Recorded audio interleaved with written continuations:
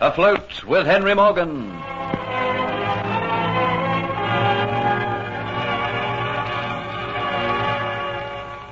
Henry Morgan has learned that Panama City is bursting with wealth, which is awaiting the arrival of a Spanish fleet to take it all to Spain.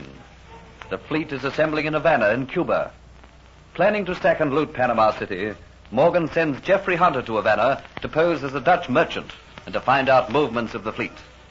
Meanwhile, in Havana, Diaz has grown tired of Kitty and threatens to sell her in the slave market. Upon his arrival in Havana with Hero, Jeffrey goes to the governor of Cuba, Don Pietro Pizarro. But Dolores sees him and unmasks him as Morgan's spy. Jeffrey refuses to tell why he's in Cuba. So Diaz is given the task of getting this information from him in the torture dungeons. You will regret, Hunter, that you didn't tell me the reason for your being here in Havana. You will never drag from me that information. The ropes are slack. Just one twist and they'll tighten. You'll begin to feel your limbs being torn from your body. Always a coward, aren't you, Diaz? You think to mock me? eh? All right. A vicious twist and limbs stretch. Again the ratchets click. Sweat breaks out on his forehead and teeth bite through clenched lips. Fools! Yes, it, Jack. Give the wheel to me. A savage sound of many clicks and muscles tear from limbs. Pain from the pit of the stomach sends out a muffled cry which forces open the clenched lips and hangs echoed in the dungeon. And though held taut, the figure seems to sag. Water again brings back to the mind the pain of a racked body. It happens all again. Not a word comes from the victim's lips. Coals from the brazier standing near his head stir with a rustle, but his mind is too far away in a world of pain to note the significance of the sound.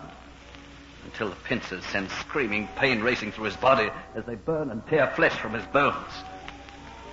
Then the blackness of the mind covers the pain of the body. Deep, is the blackness which water cannot revive. That is no good. We'll have to wait and then think up some other way. Diaz's lips are thin. His eyes glow with an almost insane luster as he looks upon his fellow creature, so helpless, so broken, and at the moment so far away from pain. Diaz's anger surges like a red, turbulent tide within.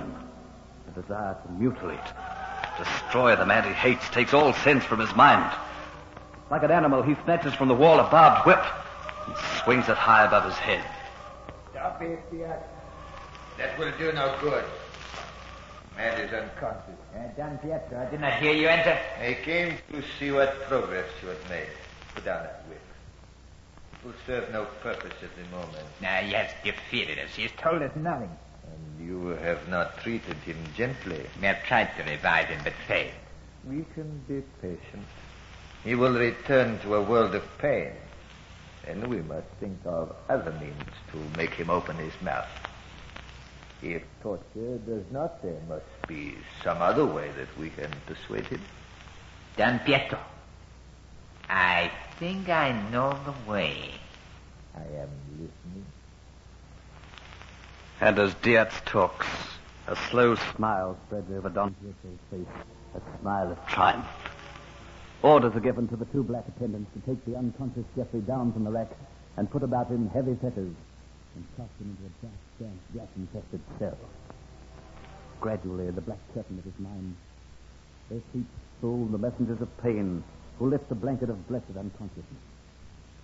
Wearily, he turns his head and tries to moisten the dryness of his lips. When he attempts to move, it's like driving knives through his muscles. All motive power has gone from him. The past is all in. No single thought can come from his aching mind. There is just pain. Pain. Pain. But the same fag thought is cold and brings some relief.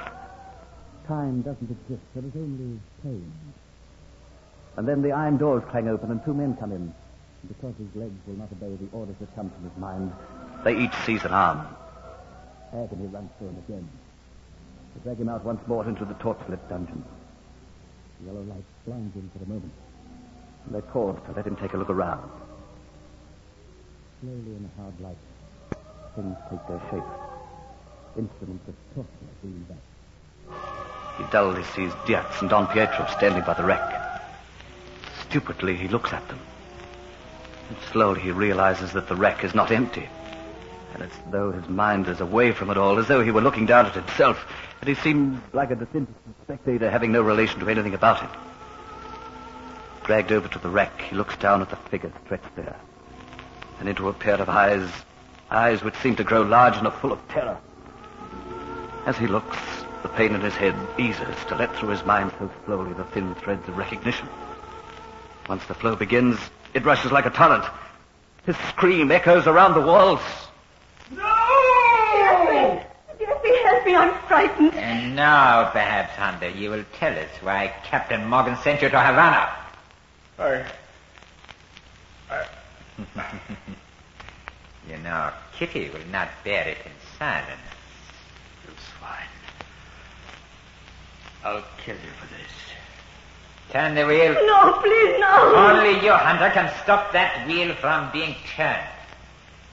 Now, come on, Hunter. You turn that wheel, and I'll break every bone in your body. Hunter, uh, this is your last chance. Speak up, else I'll turn the wheel myself. You remember that I am not gentle. Don't let them do it to me, Jeffrey. Don't let them do it. I'll tell you. I think that you are being indeed very wise, Hunter. Now, why did Captain Henry Morgan send you here to Havana? What is the reason? I came of my own accord. No one sent me. I came here to rescue Kitty. Do not lie to us, Hunter. If you lie once, Kitty will suffer. You didn't know that Kitty had come to Cuba. I am a very, very impatient man, Hunter, and I have no mercy. I want this information from you, and I am going to get it. If I do not get the information, this girl will die.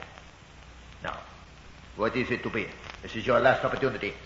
Why did you come to Havana? Jeffrey, don't let them hurt me. Please don't let them hurt me anymore. I, I came to Havana because I, I wanted to know about the fleet assembled in the harbor. So, what did you want to know? When it was sailing for Panama City. Ah, Captain Morgan knew about that, eh? He knows about the wealth in Panama City. Tell me, Hunter, what else does he know about? Isn't that all he needs to know? Oh, Captain Morgan wants to know when the fleet leaves Havana. He thinks, no doubt, to sail ahead of it around Cape Horn and wait for it there until it leaves. The wealth of Panama City. Yes. Yes, that's his plan. I see. Very well then. This time, Mr. Hunter, we will not be making any mistakes.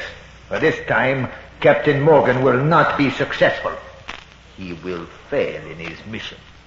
And then I shall have the pleasure of having him here before me, alive, in this very dungeon. What will happen when you do not return? Captain Morgan will go straight ahead with his plans. There's nothing whatever to deter him. You should know that by now. He will sail without learning the information I, I would have brought back to him. Good. That is very good. It is a surprise that Captain Morgan will receive when he sails to attack the treasure fleet. You should have told us all this information before, Hunter. It would have saved you a lot of pain. Thank you, Diaz, for your cooperation. Good day. Just a moment, Don Pietro. What are we to do with this person now? I do not really care, Diaz. He is of little use to us now. In his present condition, he is useless to anybody. Uh, there is to be a sale tomorrow in the market. Put him up for sale. Well, that is all, Diaz. I will go now and leave you to finish off the business. I must go and act upon the information that I have just received. Well, Diaz, fate has thrown me in your path once again. Must be for some purpose. Fate will repeat itself, and I'll be waiting for the next meeting, Diaz. I shall be remembering a lot. When it happens again, Hunter, it will be you who will once again have regrets. The sale in the markets tomorrow should be a very interesting one. I must attend to it. There will be you and Kitty. You're doing that to Kitty. Why? Because it pleases me to do so. But there's another one who's being sold as well as and Kitty. A certain Antoinette de Lacy. But this one, she is the real Antoinette de Lacy. All right, you men. Take that woman off the rack and bring the two of them with you. We'll take them to the auctioneer in the markets.